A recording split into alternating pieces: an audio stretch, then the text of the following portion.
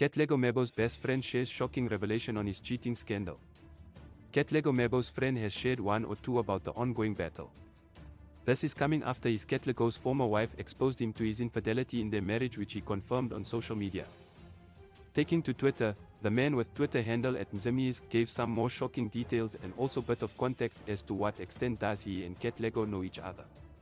The user claimed that they have been close friends since the start of his Expresso days and never lost contact till this day. He says he was the sports producer for the SABC 3 morning show, and their shared love for sports brought them closer. I am one of Katlego's closest friends. Have lived with him. Traveled with him. I was in Ukraine on the night where his infidelity occurred. I was there when his relationship started. Katlego I have been friends since our days at that Expresso show. I was the sports producer at the time. We shared a love for football FIFA. We started living together in 2012 after a couple of years which included a Euro trip, I moved to JHB. We always stayed in contact. By the time Ket met his former partner, I was back in Cape Town he was incredibly excited about it. As his friend, I was excited for him too. It was not long before we were all hanging out partying together as we do, many of us as his friends could see the writing on the wall.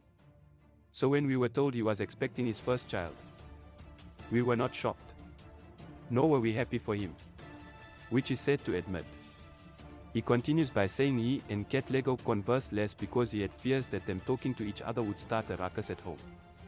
When they did meet up, he was not at ease at all, on one occasion he did reach out we went to Hudson's in Parkhurst.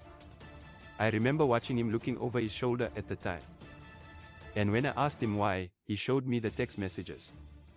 His partner was threatening to fly over to JHB show up where he was.